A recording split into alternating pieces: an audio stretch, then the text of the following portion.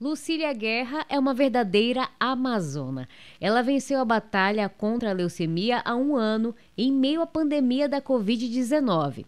Foram muitos desafios, poucos sintomas e um diagnóstico preciso.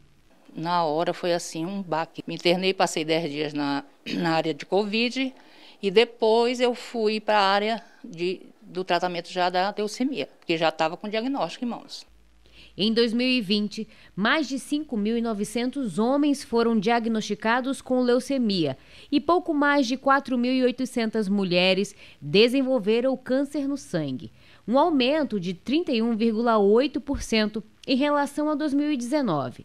Os dados de 2021 ainda não foram fechados, mas não excluem a urgência em fazer uma campanha de conscientização da população chamada Fevereiro Laranja. É muito importante o diagnóstico precoce em se tratando de leucemia, que não há uma prevenção para esta doença. Você tem que suspeitar dessa doença, né? Como? Paciente com anemia, paciente com quadro infeccioso, sangramentos. Segundo o Instituto Nacional do Câncer, estima-se que ao ano surgirão pelo menos 10 mil casos de leucemia em todo o país.